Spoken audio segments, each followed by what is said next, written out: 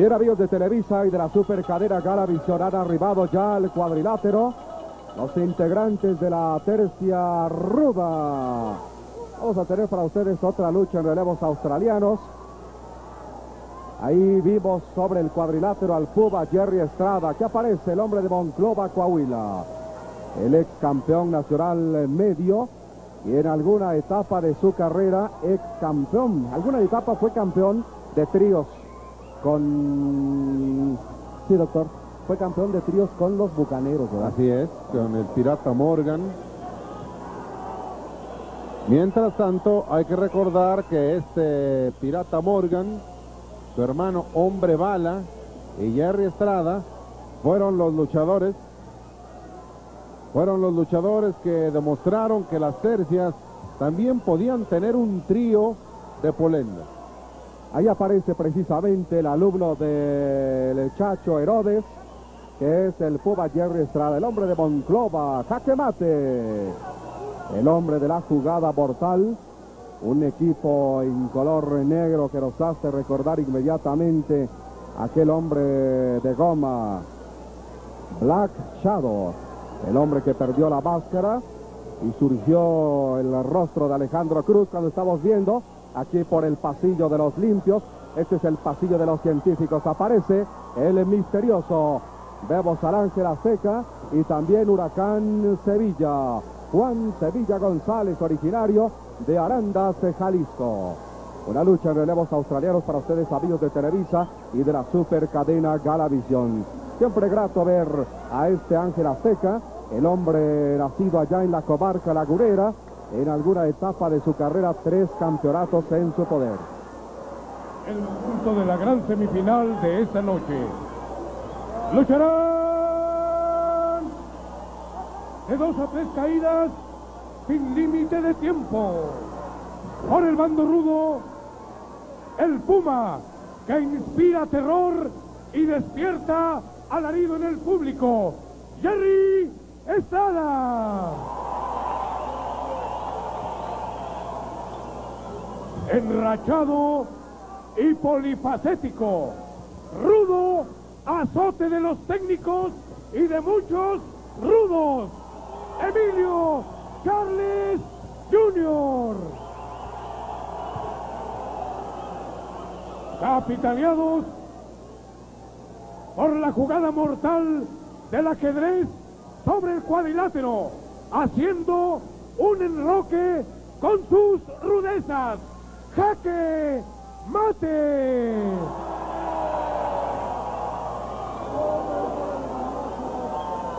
En la esquina contraria, el carismático caballero de los cuadriláteros en ascenso al estrellato, Huracán Sevilla.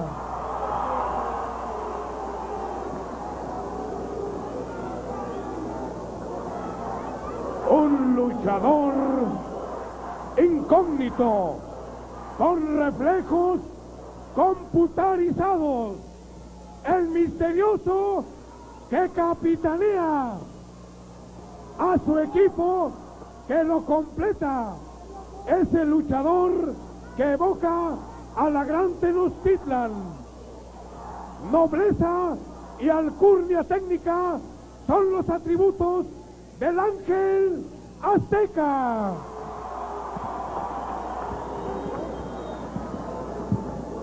Bien amigos, aquí nos vamos rápidamente a lo que será la primera caída de esta lucha en relevos australianos. Vamos a escuchar la crónica del doctor Alfonso Morales. Adelante, doctor. Gracias, mi queridísimo Miguel Linares, hijo pródigo de Cosco Matepec, Veracruz. Mientras tanto, gracias, gracias a los jóvenes de Ciudad Azteca, segunda sección, calle Tlacopa, número 142, lote 58, Salvador Ortiz Olmedo, Josué Ortiz Olmedo y Oscar Romero Ortiz. Oscar Romero Ortiz, gracias. Gracias por preferir el escenario luchístico de América Latina. Nos vamos con este misterioso, el hombre de las elegancias frente a este hombre que su cantante predilecto es David Bowie. Que es el sensacional Puma Jerry Estrada, el Puma de Monclova, Coahuila. El auténtico Puma Valderrama existió allá por la década de los 30. Aquí tienen la cara de este Puma que no canta, que aplica la japonesa. Que va a ser aquí una catapulta sobre este misterioso que el año pasado vino a la capital de la República Mexicana. Y es un hombre que siempre ha reiterado que con el apoyo de su señor padre y de su familia. Mientras tanto, este hombre que fue llevado a la lucha libre por su señor padre, conocido allá por todos los aficionados de Los Ángeles, California. Aquí tienen, están gritando, huracán, huracán, huracán.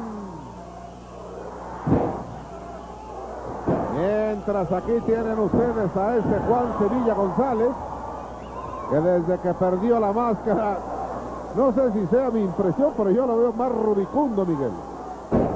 Así es, ahí vimos precisamente una toma de este hombre Huracán Sevilla.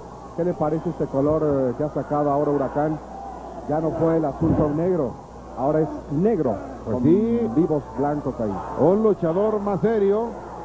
Y hoy queremos en nombre de todo el equipo darle la bienvenida a nuestro productor, un hombre verdaderamente circunspecto, verdaderamente tranquilo, hombre de poco hablar, don Antonio Rocha, que está dirigiendo el día de hoy esta transmisión. Cuando vean ustedes la forma en cómo Jaque Mate está sometiendo aquí a este Jaque Mate. Mientras tanto, aquí metiendo el antebrazo el Ángel Azteca, luchadorazo. Perdone usted la expresión coloquial, pero es sensacional. Gracias a Hugo Bautista Moreno, de 10 años de edad, de Prados de Aragón, en Unión Las Armas. Gracias. Aficionado a la lucha libre, vean la forma. El castigo sobre la pierna izquierda de este Ángel Azteca que estuvo fuera de la lucha libre por una lesión en uno de los codos. El luchador lo primero que se lesiona Miguel son los codos. Así es, precisamente de las partes más afectadas en la carrera profesional de estos elementos. El candado volado, sí señor. El candado ahí apretando fuertemente sobre este Ángel Azteca. Este es Raúl Sarmiento. Qué gusto saludarlo, doctor. Pues aquí estamos observando a este jaque mate. Creo que este rudo va subiendo como la espuma. La verdad, andaba un poco lesionado del hombro, pero como un gran profesional está cumpliendo, cumpliendo arriba del ring. Mientras tanto, aplicando ahí palanca al brazo derecho de jaque mate, el hombre de la máscara fúnebre. Donde quiera que esté el inmenso Alejandro Cruz Black Shadow, en este tapiz, en este escenario, dio enormes muestras de lo que es sabiduría luchística. Nos vamos en el momento que está arribando ahí Juan Sevilla González. Este misterioso y aquí tienen ustedes al rey del Beautiful, Emilio Charles. Dio un luchón el pasado jueves en una arena cercana a la capital de la República Mexicana frente al enorme Atlantis. El jueves se enfrentaron en San Mateo Atenco y dieron una lucha sensacional. Mientras tanto la gente quiere a Emilio Charles. Hay que recordar qué exceso de peso tenía este Emilio Charles, Miguel. Así es, se puso en condición este hombre, Emilio, su padre, doctor Alfonso Morales, creador de dos eh, castigos, dos lances dentro de la lucha libre, la rana y el angelito. Así es. Y hablando de angelitos, este es Raúl Sarmiento. Pues aquí tenemos a este huracán Sevilla, al cual la gente le está respondiendo de una manera magnífica. Parece que toda aquella molestia luego de la lucha donde perdió la máscara, donde se le silbó, donde la gente se metió fuerte con él, ha quedado en el olvido y ahora la gente está con él. Davis no le hace caso a Emilio Charles porque tiene más pelo. No sabe si le está reclamando que lo jalaron o le está presumiendo. Arturo Rivera. Pues yo creo que yo me inclinaría, Alfonso, más por lo último, como que David la tomó, mira lo que se siente andar bien cubierto de la azotea. Esta es una sacada de lado sobre Huracán. Huracán Ramírez. Mientras tanto, aquí aparece el número uno, Roberto Rangel. Este es Juan Sevilla González. Un hombre que lo recordamos. Él ya luchó de negro. Él en algún momento fue el guerrero de las galaxias. Están pidiendo un pasador. Están pidiendo ahí un pasador porque Emilio Charles le dice ya cálmate. Una diadema le están pidiendo ahí ah, para Emilio Charles. Y Juan Sevilla está metiendo a la gente para que de alguna forma venga a luchar este rey del Beautiful. Y este es este hombre que es el Puma Jerry Estrada lo pasa y en el vuelo lo lleva golpeando a este hombre que el año pasado cerró ¡Ah, vaya belleza! Una salida de bandera sobre la tercera verdaderamente espectacular que nos hizo recordar al enorme Arturo Casco, la fiera Raúl Sarmiento. La verdad que esa salida de bandera fue sensacional. Y ahí está, ya nuevamente Emilio Charles, ahora frente al Ángel Azteca. El Ángel Azteca, un hombre también de poco hablar, muy introvertido. Mientras tanto, mientras tanto, aquí están sometiendo el antebrazo de Ángel Azteca que castiga a Emilio Charles, que golpea con el antebrazo derecho sobre la cara del Ángel Azteca. Emilio Charles, un luchador de enorme comunicación con el público. Un rudo que cuando estuvo con Javier Llanes hicieron una pareja de enorme pegue. Aquí está el rey del Beautiful. Va directamente al choque contra la esquina. Este misterioso que hay que recordarlo inició su carrera ya en Tijuana, Baja California, nació en Los Ángeles. El hombre de las elegancias. Si se hiciera. Mientras tanto, a ver, aquí está yendo, vean. Se puede colegir Raúl Sarmiento, que luchador elegante de los 90, el misterioso. Sí, definitivamente un luchador con esas características. Y ahora ahí está nuevamente el Huracán Sevilla con Jerry Estrada. Vean la forma, ¡qué bello! Vaya lanza de misterioso. Y el rey del Beautiful. Aquí dice no más. Vete de aquí. Ya se acabó, ya se acabó. Vete de aquí, Satán. Emilio Charles está perdiendo. Vamos a la repetición. La sacada de lado de Juan Sevilla. Aquí el mérito es que no aflojó. Está girando, apretando con ambas piernas sobre el brazo izquierdo de este hombre. Vamos a ver esta sacada de alta manufactura técnica. Vean cómo está girando, metiendo el brazo izquierdo del Puma Jerry Estrada entre las piernas. Y un mortal verdaderamente bello. Señoras y señores, les recordamos que Televisa tiene la mejor lucha libre del mundo con sabor a México.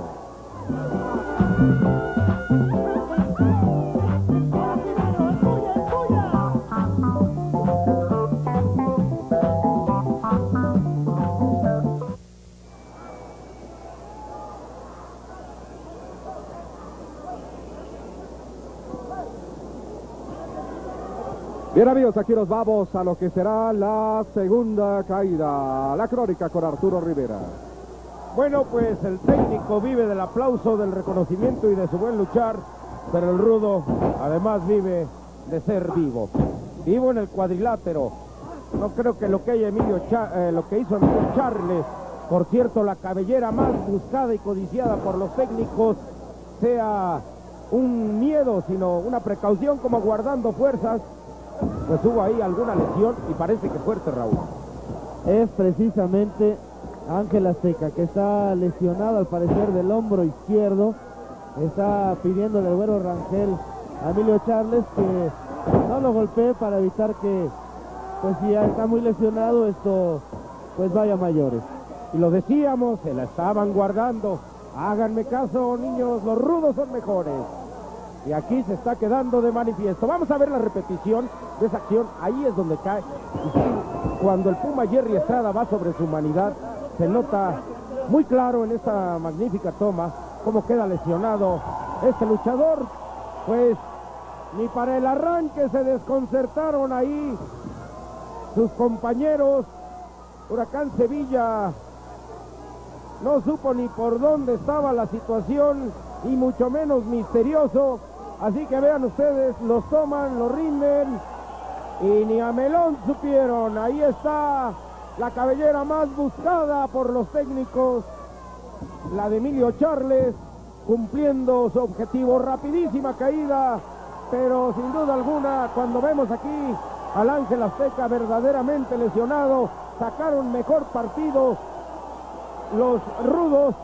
Cuando el cuerpo médico ya tendremos el reporte con Raúl Sarmiento de lo que sucede en unos momentos más.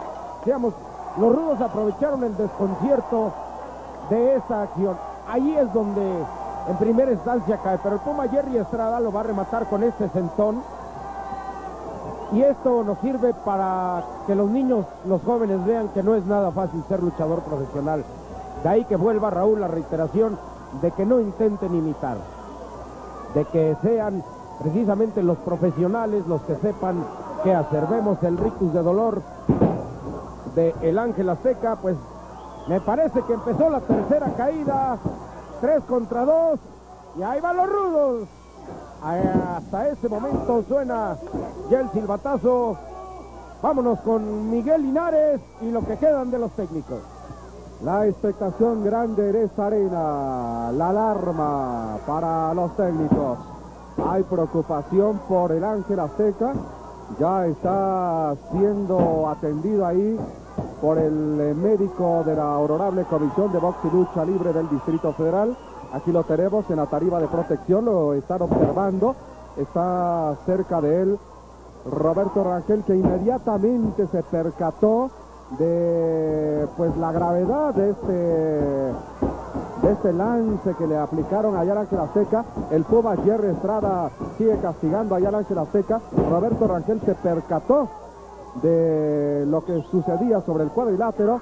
Inmediatamente le prestó auxilio. Bueno, Así Miguel. que sí, Raúl. Ya estuvimos ahí al lado de Ángel Azteca, inclusive él mismo nos dijo el problema que tiene es un golpe en la parte, en el cuello, eh, le duele bastante, pero él decía, le decía al doctor que quería continuar, así que no dudamos que de un momento a otro logre subir al cuadrilátero. Bueno, pues vamos a ver si se recupera este Ángel Azteca cuando estamos viendo aquí al Popa Jerry Estrada estrellando en uno de los postes de este cuadrilátero al misterioso. Va a volar jaque mate, aquí está. Vamos aquí al toque de espaldas rápidamente contra Huracán Sevilla. Liquidado prácticamente Huracán Sevilla. Suben ahora al misterioso. Bueno, pues no vemos por dónde puedan surgir ya, resurgir estos eh, limpios, estos científicos. Ahí está sujetando jaque mate con estos tirantes al misterioso.